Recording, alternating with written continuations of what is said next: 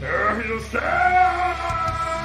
Ok, esta es una nueva sección donde les voy a compartir cómo yo hubiese hecho las cosas en diferentes series. ¿Saben esa sección al final de las evoluciones que dice eh, lo que hubiese hecho Dai? Bueno, es esto mismo pero más desarrollado. Lo voy a hacer con todo, con personajes, con sagas como la Cuarta Guerra Ninja, que este video va a ser larguísimo. Con Bleach, luego de Aizen, lo que sea, realmente lo que se me ocurra o lo que ustedes me recomienden en los comentarios. Este video va a ser un poco diferente porque aparte de ser el piloto, es decir, el primero de esta sección, empecé hablando de Hiruzen. Miren, Hiruzen no es un mal personaje, está bien escrito de hecho. Sí, es un viejete inútil que no hace nada y no sirve, pero es que fue escrito de esa manera, está bien. Por eso cuando alguien me dice que le gusta Hiruzen, yo lo entiendo, porque no es Kukarashiki, un Otsusuzu, de hecho está bien escrito. Pero como dije, eso no le quita que haya sido el viejo más inútil que he visto en mi vida es el peor Hokage de todo Naruto. Y de paso yo me siento culpable porque fui yo el que lo puso en ese puesto. Así que hoy voy a intentar arreglar las tonterías que ha hecho Hiruzen. Ay, porfa, recuerden, esta es solamente la forma en la que yo hubiese arreglado las cosas. No necesariamente tienen que ser así, no es la verdad absoluta. Sin embargo, voy a sustentar todo lo que digo como siempre. ¿Qué tal chicos? Y hoy vamos a, a arreglar a el viejete este.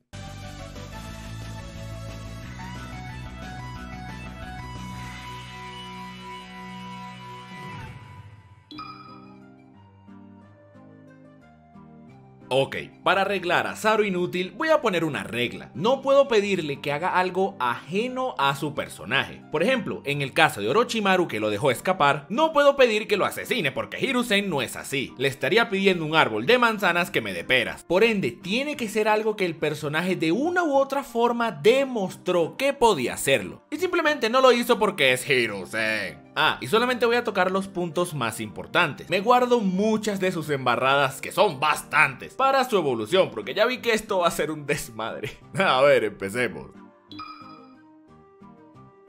La primera gran tontería de Hiruzen es Naruto. En todo sentido, Naruto es la prueba viviente que Saru inútil no sirve como Hokage. Punto número uno. ¿Cómo es posible que todos en el mundo ninja sabían que Naruto era el Kyuubi? El que todos conocieran que Naruto tenía el Pokémon adentro fue la principal causa del infierno que este niño vivió. ¿En qué me baso para decir que la culpa la tiene Hiruzen? En el manga. Cuando Minato derrota al misterioso man del pelo Pantene, se lleva al Kyuubi a unas montañas y Hiruzen se da cuenta. En la siguiente escena vemos que Minato monta una barrera y Hiruzen junto con dos ninjas más llegan a la escena. Obviamente ocurre el sellado del Kyuubi y Hiruzen lo ve todo. ¿Cuál es el problema aquí? Que Hiruzen es el único testigo de que el Kyuubi fue sellado en Naruto. Estos dos ninjas que están con él son claramente sus subordinados. Cualquier ninja de Konoha con esa vestimenta a lo mucho es un Jonin. No reconozco quiénes son estos dos, pero asumo que son unos Chunin random de por allí. Si hay un solo testigo de lo que ocurrió, ¿cómo es posible que todos sabían que el niño era el zorro demonio? Hiruzen es el líder de todo el escuadrón militar. ¿Cómo no va a poder silenciar a estos dos ninjas? Todo lo que tenía que hacer era mentir, es decir, hacer política y Naruto no hubiese vivido ese infierno. Y esto es algo que Hiruzen demostró que podía hacer, como cuando le miente a toda la aldea acerca de la masacre Uchiha. Todos, hasta de manera internacional, se comieron su cuento y nadie sabía la verdad de Itachi. ¿Me estás diciendo que encubrió a Itachi pero no pudo cubrir al hijo del cuarto Hokage que acaba de salvarte la vida a ti y a tu aldea? Que de paso es el ahijado de tu estudiante. No me Uchijas, tío. No es que había un convenio internacional que debía contar quién era el Jinchuriken. Ah, como Gakuri hacía lo que le daba la gana con sus experimentos con el Hachibi. Y ninguna aldea tenía idea. De hecho, Onoki ataca como Gakure solamente para entender qué madre estaba pasando en esta aldea. Ah, que qué hubiese hecho yo aquí. Simple, le cierro el pico. La única forma posible de que la gente supiese lo de Naruto era por Hiruzen, porque él era el único testigo. Es decir, el infierno que vivió Naruto es directamente su culpa. Sí, yo sé que será el punto del personaje de Naruto, que vivió con el dolor de verdad y estuvo solito y así tendría una excusa para hablar con los villanos y decirle, mira, yo era como tú. Ya sé, ya sé, pero me que esto sea así no por puro accidente, como nos lo pintaba el manga en su primera parte. Es porque el viejo enfermo Hokage de la aldea ni eso pudo hacer. Siguiente punto. Este punto depende directamente de lo primero que ya arreglamos. Pero supongamos que no. Hay una escena que es del anime. No la vi en el manga, pero me pareció completamente posible y lógica.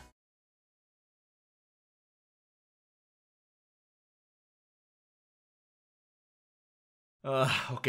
Entiendo perfectamente que no le contara a Naruto que el Yondaime era su papá, porque esto hubiese generado mucho problema. Solamente con basarnos en Konohamaru, quien era venerado y respetado por todos, por solamente ser el nieto del Hokage. Y claramente esto hubiese sido muy difícil para Naruto, especialmente porque sus padres fallecieron. Pero eso es lo que pienso yo, porque en el manga se dice que no le contaron para protegerlo. Cosa que es absurda porque, ja, nadie sabe quién es el hijo de Minato para cuidarlo. Ah, pero todos saben que él es el Kyuubi. Buenísimo qué genio, qué protección. El punto es que entiendo, pero hijo de tu madre y padre, por lo menos ayúdalo, haz algo. Mira las condiciones en las que está viviendo ese pobre niño. Ya lo arruinaste la vida por andar de chismosa. Al menos haz que no sea tan terrible. No puede ser que no haga nada este viejete. No solo no hace nada él, sino que no deja que los demás hagan algo. Sarutobi no se silenció él mismo con lo del Kyuubi, pero a los demás sí. Jiraiya cuando por fin vuelve a la aldea y se topa con Naruto, no no le puede decir una mierda porque está el convenio pautado por los altos mandos. Incluso aquellos que sabían que Naruto era el hijo de Minato no podían hacer nada. Todos los que leyeron los libros de Jiraiya sabían que Naruto era el hijo del cuarto. Kakashi lo sabía y tampoco podía hacer una mierda. Y con todo y eso fue mil veces mejor amigo que el Hokage que se jacta de la voluntad de fuego y de que conoce su familia y no sé qué otra tontería. Y que de paso lo sabía todo. Que qué hubiese hecho yo aquí hacer que Hiruzen lo guíe. No estoy diciendo que lo adoptase, ni mucho menos, por favor, ni a mi peor enemigo le desearía algo así. ¿Saben lo que es ser un hijo de Hiruzen? Están locos. Lo único que tenía que hacer era guiarlo, al menos un poquito. Dile a ese niño cuál es el camino que debe tomar. Dile que las cosas se van a poner mejor. Dile que eventualmente todo tendrá sentido. Dale un propósito, dale un camino. Naruto se inventó todo él solito. Eso de que quería ser reconocido es porque sufrió muchísimo. No fue debido a un guía o un adulto o algo así. Sí, a Naruto le salió todo muy bien, pero primero fue porque tiene una voluntad que te caes de nalga. Segundo, porque pudo conocer a Jiraiya. Y de ahí Naruto pasó a ser otra persona. Pero no todos son así. Y esto es solo de manera psicológica. Físicamente estaba igual o peor. Naruto vivía solito en un sitio donde hasta se le vencía la comida. Porque obviamente le va a pasar. Es un niño sin padres. No puede ser que Teuchi, el tipo del ramen, haya sido más importante y crítico a la hora de que Naruto comiese y fuese feliz que el tipo que sabía quién era y que vio cuando lo sellaron el Kyuubi. No, man, no me... Y esto no es algo ajeno al personaje. Hiruzen hizo todo esto con Iruka. Según Iruka fue Sarutobi quien lo guió. ¿Por qué con él sí y con Naruto no? Que de paso, Iruka pierde a sus padres en el ataque del Kyuubi. Es decir, este niño también sufrió debido al Kyuubi. Y a uno lo guía y al otro lo abandona y a su suerte. Miren, con estas dos acciones, tanto la de guardar el secreto del Kyuubi como el cuidar de Naruto ya mejora infinitamente a Hiruzen. O al menos para Naruto. Énfasis en al menos para Naruto porque aún nos queda dos puntos más.